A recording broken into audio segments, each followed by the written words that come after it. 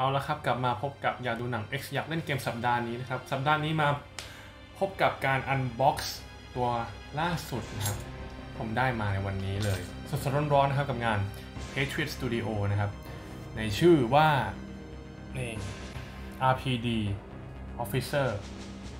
Resident Evil นั่นเองนะครับ เป็นผลงาน Third Party ค่ายจีนะครับ ที่ผลิตในเรื่องของ figure model scale 1ต่อ12 จากเกม Resident Evil นะครับ ต้องบอกว่ามันไม่ได้ลิขสิทธิ์โดยตรงจากทาง Capcom นะครับ แต่ว่าก็ทำออกมาให้แฟนๆ ได้เล่นกัน เอามาดูกล่องกันก่อนนะครับ หน้ากล่องของเราเป็นแบบนี้นะครับ ด้านหน้าก็จะเป็นตัวซอมบี้ตำรวจของเรานะด้านข้างก็จะเขียนว่า Patriot Studio นะครับ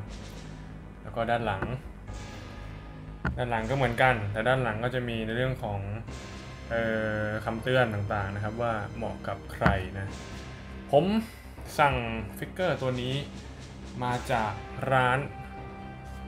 Talk Toys Shop นะครับ Talk Toy Shop นะฮะก็ได้ของแถมมาเป็นสติกเกอร์นั่นเองนะฮะเป็นรูปเลโกลัสก็อุดหนุนก็ได้ไม่ได้สนับสนุน แต่ว่ามาโปรโมทให้นะครับ อ้าว มาแกะกล่องกันเลยนะครับ นี่สดๆร้อนๆผมยังไม่ได้แกะนะ กรีดสติกเกอร์กันเลยนะทีนี้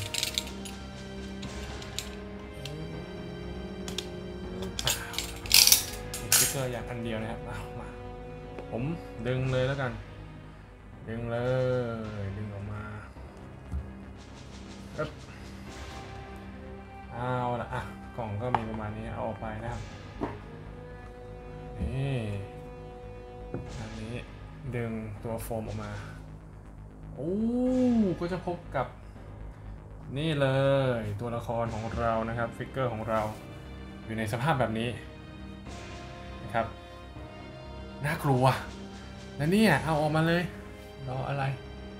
นะครับเอาเอาออกมาก่อนตรงนี้นะครับ เอาผมวางไว้ก่อนดีกว่า เพราะว่ายังมีอีกชิ้นหนึ่งนะครับที่อยู่ด้านในนี้ ตัวฟิกเกอร์ตัวนี้นะครับ มีอยู่ 2 ชุดนะครับ ในจากงานของ p a t r i o t นะฮะ จะมี Anchor กับ Fallen นะครับ ของผมน่าจะเป็นตัว Anchor นะฮะผมจะเป็นตัวอ้าป่า แล้วก็จะมีพิมพ์ขึ้นมานี้ฮะ และก็จะมีโปสเตอร์ในเรื่องของ RPD หน่วย Stars นะครับ ที่แปะอยู่ในเกม Resident Evil ภาค 2 ด้วยนะครับ เป็นการรับสมัครเข้าประจำหน่วย Star นะครับ อ้าว ส่วนตรงนี้เป็นเข็มขัดปืนแล้วก็วิทยุมีหมวกด้วยนะฮะเอามาดูที่ตัวละครก่อนเลยนะตัวฟิกเกอร์ของเรานะครับ งานนี้โอ้โหแอบน่ากลัวนะเนี่ยดึงพลาสติกออกมาสดๆร้อนๆเอาละโอ้โหหลอนน่ากลัวจริงเลยเนี่ยดูจากใบหน้าสีหน้านะครับทำออกมาได้สมบูรณ์แบบมากนะครับดู สีหน้าน่ากลัวมาก มีตาสัญลักษณ์ RPD นะครับนะ ตำรวจ Raccoon City ทั้งสองข้างนะครับ ชุดทำออกมาได้สมจริงสุดๆเลยนะครับนะในสเกล1ต่อ12 ด้านหน้าด้านหลังนะครับ ตัวชุดตัวกางเกงนี่ต้องบอกว่าทำออกมารายละเอียดดีมาก ดูสังเกตนี่นะมือนะ โอ้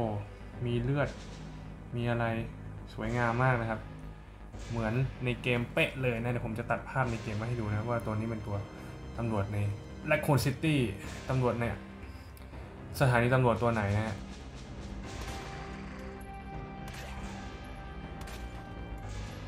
อ้าประมาณนี้ ยืนยากเหมือนกันนะครับเนี่ยต้องบอกนะต้องบอกว่ายืนยากหน่อยนะเอ้าไปดูอ c เซสซอรีในส่วนของอ c เซสซอรีนะครับ ก็จะมีในเรื่องของเข็มขัด เข็มขัดตำรวจนะ มาให้นะครับขัดสามารถที่จะเอาไปผูกกับเอวของตัวซอมบี้ตัวนี้ได้นะครับ ตามมาด้วยนี่หมวกครับนี่หมวกของเรา สามารถใส่ได้นะครับปืนเป็นปืนลูกโม่และก็วิทยุสื่อสารนะครับ สามารถใส่เข้าไปได้ด้วยกันนะอ๋อยังมีอีกอย่างหนึ่งตัวนี้เล็กมากเลยครับ เป็นไฟฉายนะฮะเล็กๆเลยนะเอาละครับหลังจากที่นำอ c เซสซอรีมาใส่เรียบร้อยแล้วนะครับ เป็นเรื่องของเข็มขัดนะฮะผมก็ไปยืมฐานของลีออนมายืนหน่อยเพราะว่าต้องบอกก่อนว่าตัวนี้เนี่ยยืนค่อนข้างยากนะครับ ขาค่อนข้างจะอ่อนแรง อาจจะเห็นได้ว่าที่เข็มขัดนะครับ จะมีปืนพกนะปืนพกเป็นปืนลูกโม่นะครับ ใส่ลงไปในเข็มขัดได้นะ ใส่ไปแล้ว ด้านข้างด้านนี้ ตัวที่ผมบอกว่าเป็นไฟฉายตอนแรกไม่ใช่นะครับ น่าจะเป็นในเรื่องของกระบองนะครับ ที่เอามากางออกมาตีได้ แต่ว่านี่เป็นแค่ตัวจำลองเฉยๆนะครับ ไม่สามารถเอาออกกางออกมาตีได้ ส่วนนี้คือวิทยุสื่อสารนะครับเอาประมาณนี้ท่ายืนนี่น่ากลัวมากนะครับ ดูจากสีหน้านะเออสีหน้าคือน่ากลัวมากนะเวลาจัดท่าเนี่ย สวยงามมากจริงนะดูดูมือนะ ผมจะลอง ยกแขนขึ้นมานะฮะ มันจะออกมาประมาณแบบนี้นะเป็นการโผของซอมบี้เข้ามาหาตัวละครเอกของเรานะดูมือดูมือเลือดความอาบของเลือดนะฮะ สุดยอดจริงรายละเอียดดีมากนะครับนะเออแล้วก็ถ้าสังเกตดีๆนะครับ ตรงหมวกก็จะมีในเรื่องของตาสัญลักษณ์ตำรวจ Raccoon City เช่นเดียวกันนะครับอะเออ สมบูรณ์แบบมากสำหรับฟิกเกอร์ตัวนี้นะครับ1ต่อ12 เอามาลองยืนเทียบกันกับ l ีออนและเอดาจากงานค่ายคนละค่ายกันนะครับ ปรากฏว่าสเกลเนี่ยถือว่าสามารถนำเอามาเล่นด้วยกันได้อย่างสมบูรณ์เลยนะครับ โดย Ada เนี่ยจะเป็นชุด custom มีแต่หัวกับชุดมาให้ แล้วส่วนตัวเนี่ยก็จะต้องไปซื้อเพิ่ม แต่ว่าก็จะมีสเกลที่ลดหลั่นกันไป แล้วก็ l ีออนนะครับ l ีออนเป็นงานของ Lim Toys นะครับ ก็สามารถที่จะนำมาเล่นด้วยกันได้นะครับ สเกลเรียกได้ว่าสเกลเดียวกันเป๊ะเลยนะ ไม่มี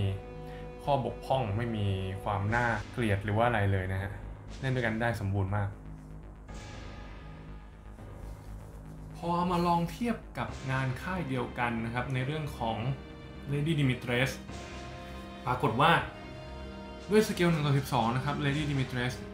หญิงสาวที่สูงประมาณ 3 เมตรนะครับ ดูสูงมากมากเกินตัวซอมบี้มากไปเลยนะ จริงๆก็เป็นสเกลที่ถูกต้องนั่นแหละครับนะก็เอามาเล่นด้วยกันได้เช่นเดียวกันนะเพราะว่าเธอสูงประมาณนี้อยู่แล้วนะในความเป็นจริงนะฮะก็ต้องยอมรับว่างานค่าย Patriots นะครับผมซื้อมา 2 ตัวแล้ว ตัวซอมบี้ตำรวจกับตัว Lady Dimitrescu นะครับต้องบอกเลยว่าเป็นงานค่ายที่น่าประทับใจมากจริงนะครับ ไม่ผิดหวังที่ซื้อมานะ ก็จบกันไปแล้วนะครับกับการรีวิวซอมบี้ตำรวจ RPD ของเราในวันนี้นะครับ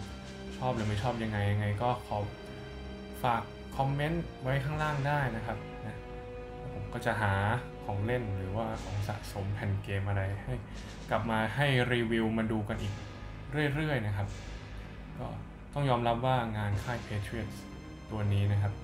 ซอมบี้ตำรวจ RPD นี่ สวยงามสมคำล่ำลือจริงๆนะครับทุกรายละเอียดทั้งหมวกทั้งชุด รอยคราบเลือดคราบเปื้อนต่างๆนี่ทำออกมาได้สมบูรณ์แบบมากนะครับ ยังไงก็ตอนนี้ทางท้องตลาดเนี่ยน่าจะต้องไปหาเป็นของรีเซลแล้วนะครับ หาไม่ได้แล้วก็อะลองไปดูกันนะครับเผื่อมีเหลือ